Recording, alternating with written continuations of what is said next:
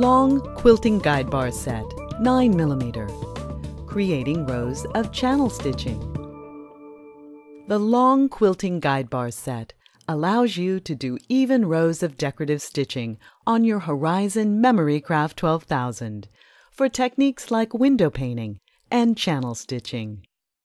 The set comes with two guide bars.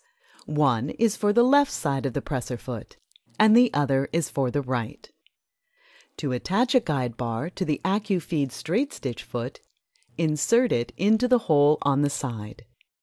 To use it with the regular ankle, you also insert it into the hole on the side.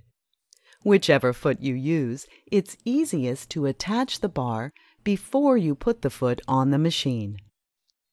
To adjust the distance between your rows of stitches, simply slide the bar in or out. The bar will now act as your guide as you do your channel stitching.